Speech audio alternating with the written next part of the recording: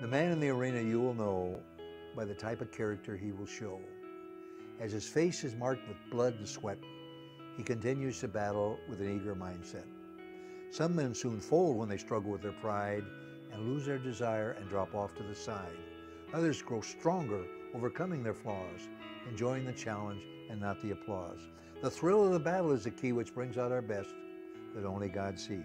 Whether we win or whether we lose, we experience the joy that few people choose.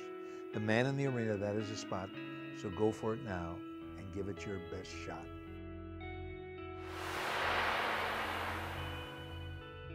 Uh, they were more than champions.